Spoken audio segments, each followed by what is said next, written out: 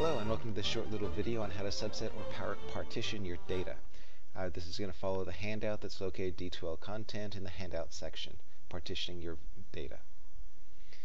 Frequently we need to test subsets of the data. For instance, one may need to compare the heights of males and females, or compare the output temperature for different processes, or test for differences in brain activity under control in two different treatments. Uh, two treatments may be two different levels of coffee or two different drugs. In such cases, the data is usually stored using just two variables. The variable of interest, the measurement variable, and the grouping variable. That grouping variable is the variable that states which of the groups that record or that subject belongs to. In the above examples, the variables of interest are height, output temperature, and brain activity. And the grouping variables are gender, process, and treatment. For each grouping variable, each grouping variable there has two or more levels. Otherwise, it would need a group. It would all be the same value and those levels correspond to the groups we wish to compare. In the above examples, the levels are male and female, processes 1 through 4, and treatment levels 0, 1, and 2. Keeping these three things separate is important to understanding how to properly test your hypothesis using the data. And those three things are the measurement variable, the grouping variable, and the levels. And to really emphasize this, if you notice on the handout, it's color coded. The measurement variables are in red, the grouping variables are in green, and the levels are in blue. And everything else is going to be in black. So let's look at example one. I wish to test the null hypothesis that the average fuel economy for model A is not different from that of model T. And what the data consists of is just two variables, the model and the economy. The first model is the grouping variable, and the second is the measurement variable. The grouping variable has two levels, A and T, correspondingly two models. Now the parametric test, etc. But let's go down to the bottom to how we actually create these two new variables. First thing is we're going to have to name this variable eventually. I call it econ A because it's the economy for model A. Econ A has meaning to me as a variable. You could call it Bob if you want. Bob doesn't have much meaning. Then economy, that's the measurement variable. Then a bracket, then model, which is the grouping variable. Equal equal, that is indeed a double equal sign, no space between them. And then in quotation marks, the level of that grouping variable, level A in this case. And then a closing bracket. And again, the brackets are important. So for econ t, it's economy, the measurement variable, bracket model, the grouping variable, equal equal, in quotation marks, the level t, then a closing bracket. So when I run these two lines, I'm going to have two new variables, econ a and econ t. Econ a will hold all of the economy values corresponding to those model A cars. Econ T will hold all the economy values for all the Model T cars. It's as easy as that. Example 2, something a little bit more complicated. I'm studying the effect of four fertilizers on corn yield. From this, we see that the measurement variable is going to be yield. That's the variable of interest. The grouping variable is going to be fertilizer, hence it's green. And there's four fertilizers.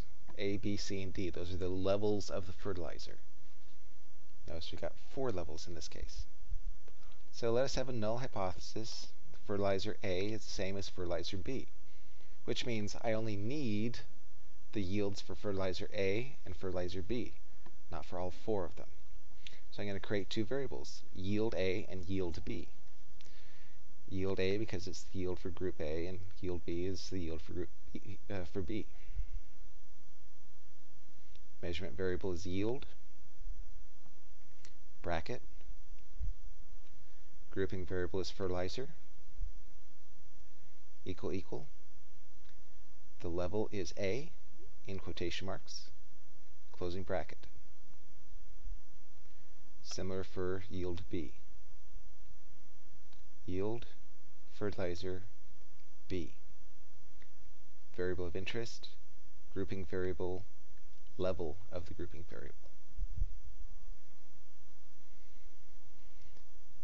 Okay, so that deals with creating a yield A and a yield B. Next, let's create a yield A and compare it to all the others together. So what these two allowed us to do is compare the yield of group A, fertilizer A, to the yield of fertilizer B. What I may also need to do is compare yields of group A to the yield of all the others put together. So I'm going to create yield A, exactly the same as above, and we'll call it yield O for other. How do we create yield O? It's just yield fertilizer not equal to A. Exclamation point equal test for e uh, inequality. Equal equal test for equality.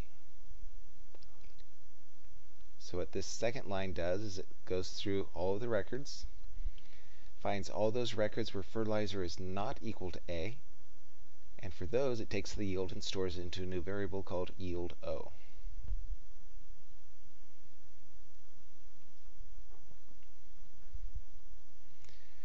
Perhaps we don't want to compare A to all the others. Perhaps we want to compare the yield of fertilizer A to the yield of fertilizers B and C put together. Here's how you would do that. First line's the same because it's just yield of A. We're going to call the second one yield BC yield, fertilizer, level, and that's a pipe. It's a vertical line so located just above the enter. It means or. Fertilizer, C. So what the second line does is it looks for all those fertilizers that are B or fertilizers that are C. And for every one of those, takes the yield value and sticks it in the variable yield BC. Now we could actually do the second line in other ways just to see if we've got it. Let's do yield CD. Yield fertilizer is C or fertilizer is D. What this does is it looks for all those records where the fertilizer is C or where the fertilizer is D. For all those records, takes the yield and sticks it into the variable yield CD.